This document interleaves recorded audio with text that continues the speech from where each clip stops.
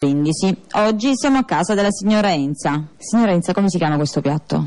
Eh, cozze ripiene. Quali sono gli ingredienti? Allora, dunque, per il ripieno è necessario eh, pan grattato, eh, pecorino, sale, pepe e io ci ho aggiunto la cipolla.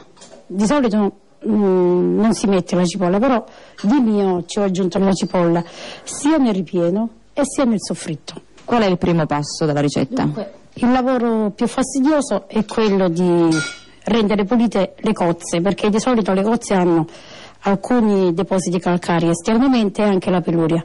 E allora bisogna raschiarle e ovviamente pulirle con, grattarle con il coltello oppure addirittura con una retina. Poi bisogna aprirle in questa maniera, in modo che la cozza sia divisa in due. Una volta pulite e aperte si passa a riempire le cozze e a chiuderle con un filo di cotone. L'importante è non far uscire il composto e poi si chiude in questa maniera in modo che le cozze non si aprano nella cottura. Adesso si passa alla cottura. Prima prepariamo il soffritto. Cipolla, ci mettiamo l'aglio intero, prezzemolo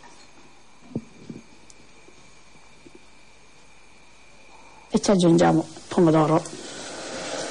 Che deve essere come? Pomodoro può essere polpa o pelati passati oppure i pomodori fatti in casa, pomodorini. Ci mettiamo un po' di pepe. Qui il sale ovviamente ce lo mettiamo e poi ci aggiungiamo le cozze. Quanto rimangono a cuocere? 10 minuti. Questo è il piatto finito e possiamo garantire che il risultato è davvero ottimo.